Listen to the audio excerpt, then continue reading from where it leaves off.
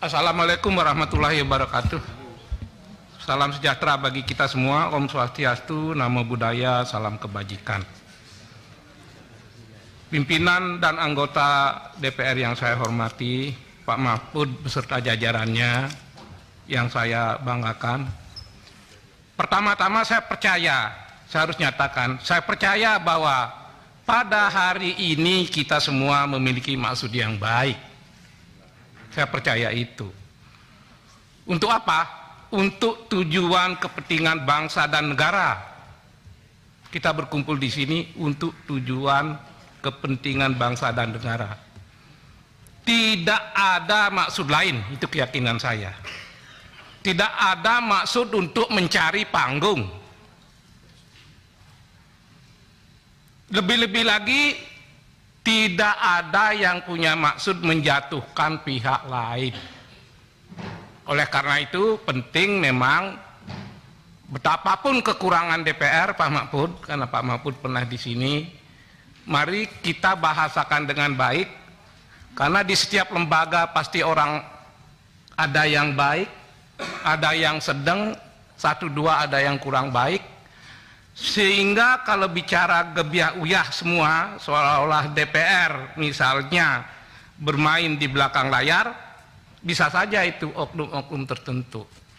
Tapi tentu kami ingin mendapat gambaran itu bukanlah cerminan dari DPR khususnya Komisi 3 masa kini gitu.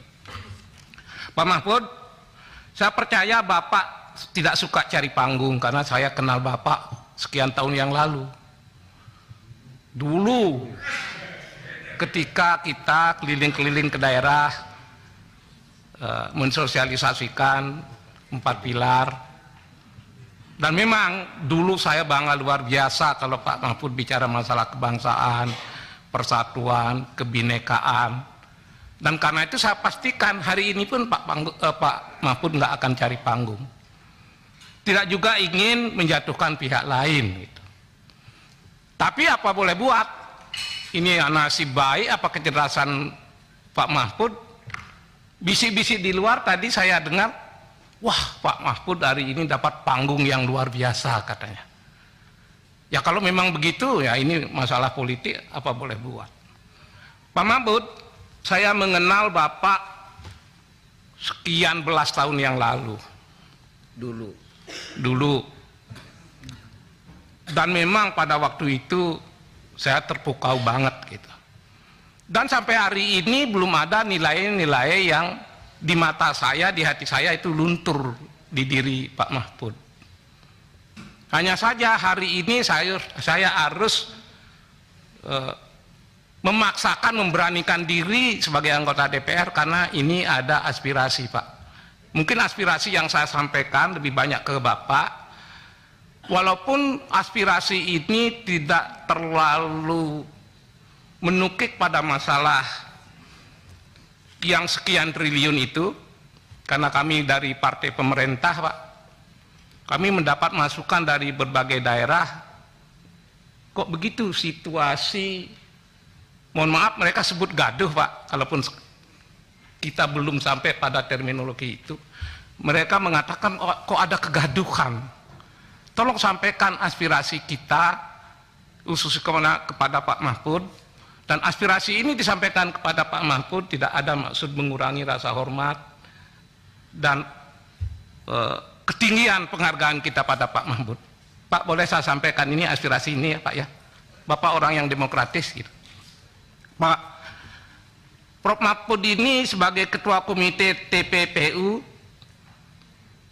kami memahami, kami memahami bahwa di situ Bapak harus menekankan keterbukaan dan keterbukaan adalah gaya yang tersendiri dari Pak Prof.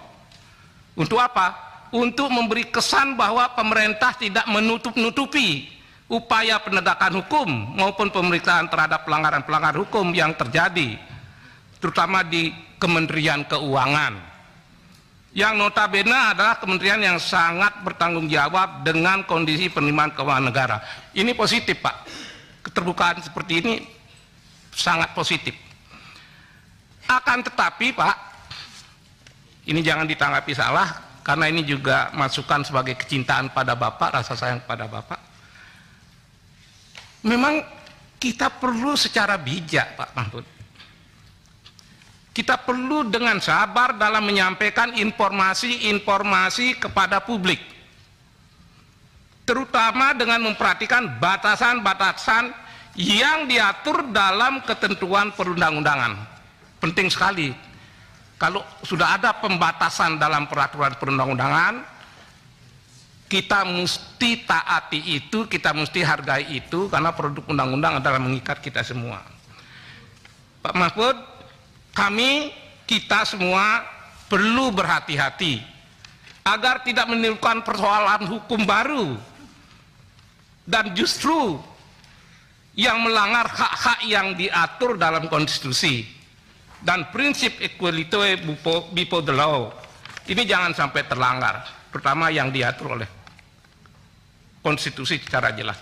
Pak Mahfud dengan menghargai paparan Bapak yang baru Bapak sampaikan mengenai pandangan-pandangan yang berkaitan dengan uh, berbagai peraturan yang akan sebut, saya sebutkan pada bagian berikut lalu kami punya pandangan yang kami petik dari aspirasi masyarakat di mana pernyataan Prof. Mahfud sebenarnya saya yakini sekali lagi itu sangat baik. Dan pernyataan Pak Mahfud ini, Prof. Mahfud ini kan merespon kebutuhan masyarakat. Tentang apa?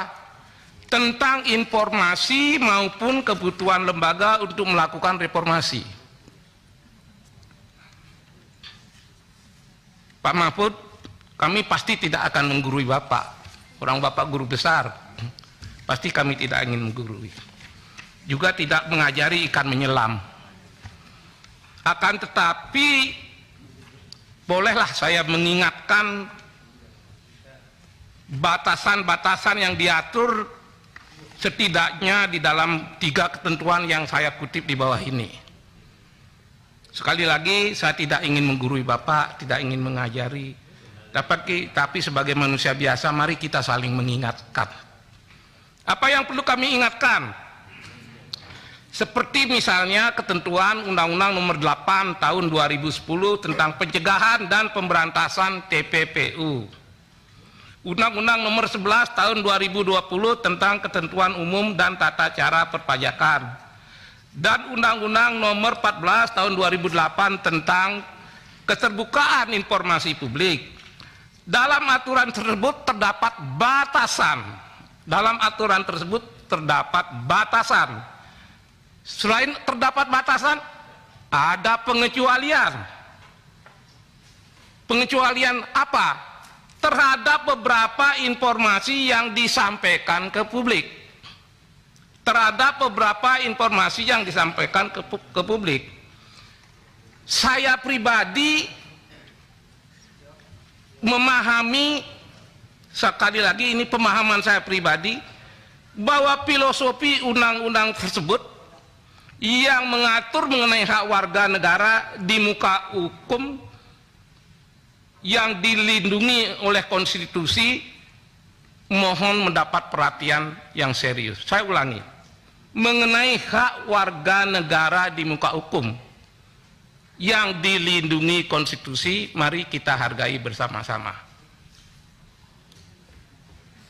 Hak warga negara di muka umum sepertinya kita sering lihat dalam undang-undang dasar. Sering kita lihat di berbagai media, sehingga menjadi hal yang biasa.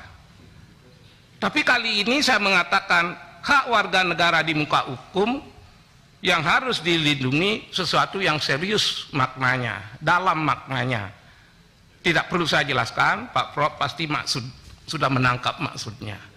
Memang tidak mungkin Pak Prof memiliki maksud untuk meniadakan hak warga negara di muka hukum.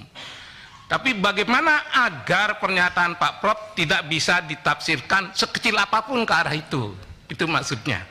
Itu maksudnya aspirasi-aspirasi dari partai yang kebetulan kami pendukung pemerintah. Oleh karena itu, saya berharap agar pernyataan oleh seluruh pejabat publik, pernyataan masyarakat, pernyataan kami terutama pejabat publik di ke depannya dapat saling menghormati. Kami menghormati Pak Mahfud, Polhukam, TPPUU, Pak Mahfud pastilah harus menghormati DPR, menghormati Komisi 3. Lagi pula harus menjaga keharmonisan antar lembaga. Mari kita pastikan di antara kita tidak perlu atas nama rakyat, atas nama masyarakat, atau atas nama lembaga, memberikan pernyataan-pernyataan yang justru kontraproduktif dan bisa berpeluang menimbulkan kegaduhan seolah-olah ditafsirkan mencari panggung padahal kita sudah sepakati tidak ada yang akan mencari panggung di forum ini. Yang terakhir yang ingin saya katakan adalah saya berterima kasih pada Pak Prof. Mahfud sebagai Ketua Komite TPPU atas penyampaian terkait dengan transaksi janggal dan indikasi terjadinya tindak pidana pencucian uang. Ini bisa kita lihat dalam paparan Pak Prof tentang hasil kesepakatan tindak lanjut di poin 2 Pak. Nah, saya garis bawahi saja uh, pernyataan Bapak itu sehingga kami tekankan sekali lagi transaksi janggal dan indikasi terjadinya tindak pidana pencucian uang secara lebih jelas dan komprehensif sebagai bentuk konkret komitmen kita bersama pada bangsa dan negara serta masyarakat. Untuk itu dalam forum ini saya meminta kepada komite TPPU sesuai dengan tugas dan fungsinya ini sesuai dengan tugas yang fungsinya. Untuk apa? Untuk dapat mengkoordinasikan kembali, mengkoordinasikan kembali dengan aparat penegak hukum. Dalam hal ini Polri, Kejaksaan, KPK maupun penyidik di Kementerian Keuangan. Sekali lagi, penyidik di Kementerian Keuangan. Agar apa? agar transaksi janggal dan indikasi terjadinya tidak pidana pencucian uang dapat segera ditindaklanjuti sesuai dengan ketentuan peraturan perundang-undangan sehingga dapat membantu dalam upaya reformasi hukum dan mendukung optimalisasi pendapatan atau penerimaan negara. Saya rasa itu saja yang bisa saya sampaikan. Sekali lagi, kalau saya simpulkan, itulah bukti rasa sayang saya pada Pak Mahfud dan kawan-kawan itulah rasa sayang dan kesetiaan kita pada integritas pribadi Pak Mahfud yang saya kenal selama ini. Bukan saja dulu tapi selama ini. Terima kasih. Sampai sekarang. Pak Santoso. Terima kasih sudah nonton. Jangan lupa like subscribe dan share ya